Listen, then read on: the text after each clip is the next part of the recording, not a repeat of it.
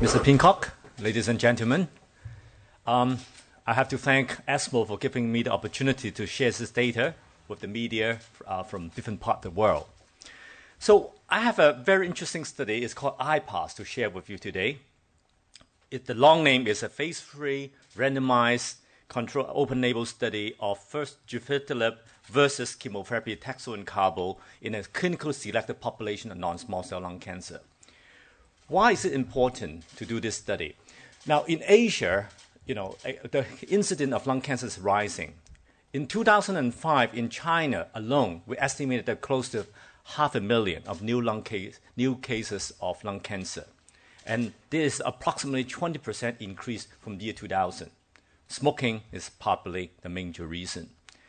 And of this population, 60 to 7% presented at advanced stage disease, and for this group, chemotherapy is the only choice as a standard choice. However, there's still a good number of patients who cannot tolerate the chemotherapy and also suffering from the toxicity. But now, with the advent of the new targeting drug, we ask the question can we use this new targeted drug in a first line setting? So, today I'm going to present a result of this IPASS study to show you is a new paradigm in Asia that we can consider gefitinib, an oral targeted agent, as a first line therapy. Briefly on the EGFR, about terminology, it's called the epidermal growth factor receptor. When a cancer cell to grow, it tries to sell signal one to another. That's a growth factor. And they have to receive this signal with so-called the uh, so epidermal growth factor receptor, just like a receiver of the signal. And after the signal is activated through an enzyme called tyrosine kinase, the TK, then it leads to a whole series of events, cell proliferation, metastasis, angiogenesis, and the cancer continues to grow.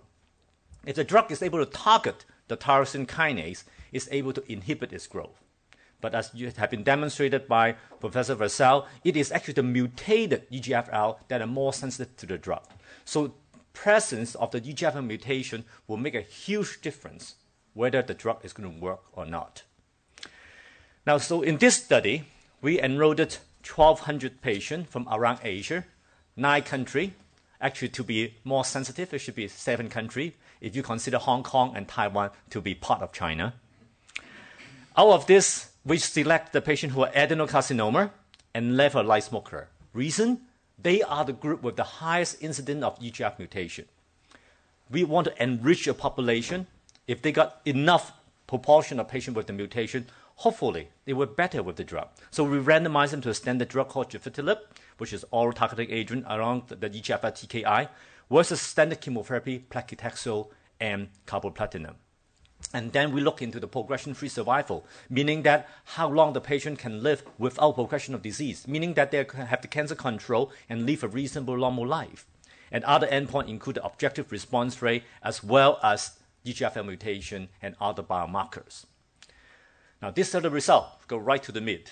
We look into the progression-free survival, the hazard ratio, meaning that you know, the proportion, the chance of this uh, gefitinib is superior over the chemotherapy is 0.71.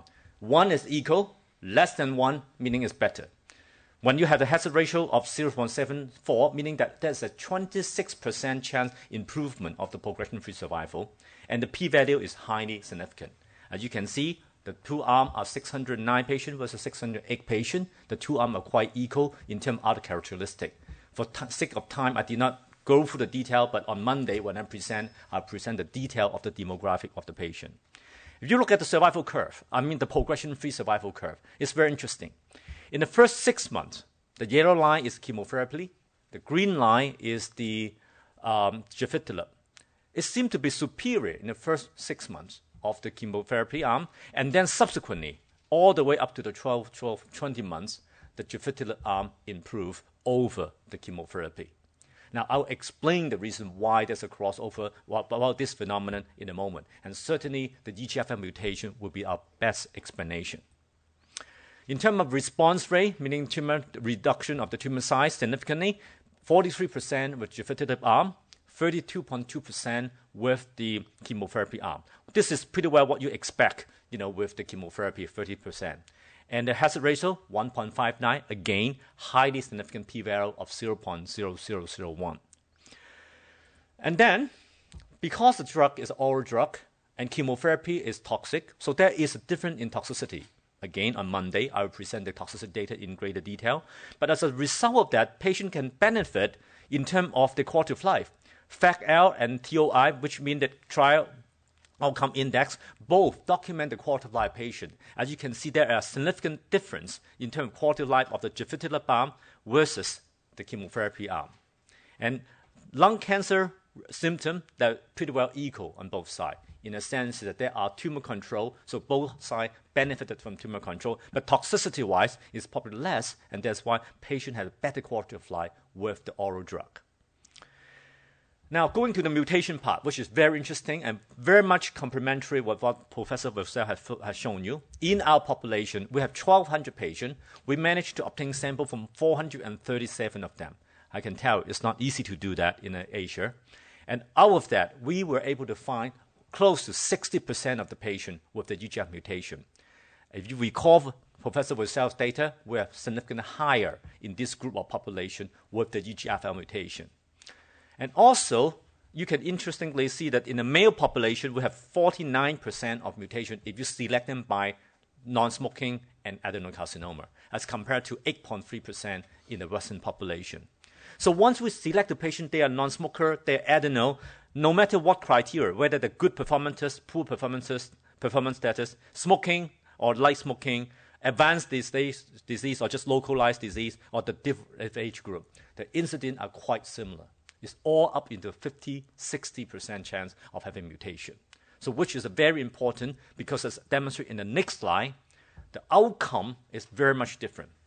If you have the EGFR mutation positive patient and you give them gefitinib or the chemotherapy, you can see that survive, progression-free survival curve is significantly better with the gefitinib arm compared to the chemotherapy arm. Hazard ratio very high of a very significant of 0.48, and again the p-value is less than 0.001. But on the EGFR mutation negative patient, it's the other way around. The chemotherapy patient actually, I mean the patient with EGFR mutation negative, the chemotherapy do better than the gefitinib arm, and again with a significant p-value. Now, this explains the curve what we have so observed. In the first six months, the patient without the mutation, the chemotherapy did better. And with time, the patient with the mutation continues to do well and benefit. So, in other words, other than just by clinical selection, we're able to demonstrate that the importance of EGFR mutation in this population. And then this has been demonstrated on the response rate, 71.2% if the patient mutation positive, almost exactly the same as the Spanish data.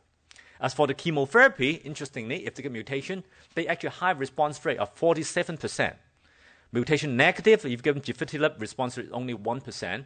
But then the response rate to chemotherapy, if they're mutation negative, is only 23%. This is a very interesting new finding, is that there's a difference of the response rate to chemotherapy, whether mutation positive or mutation negative. So in other words, there are certain degree of prognostication in the nature. So in summary, what is the implication of IPASS data? I think at this point, I think as a doctor in Asia, we can consider gefitinib as one of the standard first-line therapy if the patient are non-smoker or light smoker and with adenocarcinoma. And secondarily, we, with this data, we're able to demonstrate that EGF mutation is a very important marker, predictive marker for the EGFR TKI, gefitinib or erlotinib. And then, why is it important? Well, you know, in, in, in Asia, about 30% of all lung cancer patients fall into this category. In the Western world, it's about 15%. And so it's a large number of patients that we offer a new choice for them. And also we demonstrate as a first-line situation, gefitinib is well tolerated with much less toxicity and compared to chemotherapy. So I think I can pretty well conclude that this study potentially will change the paradigm of treatment as a first-line situation for a patient with advanced non-small cell lung cancer. Thank you very much.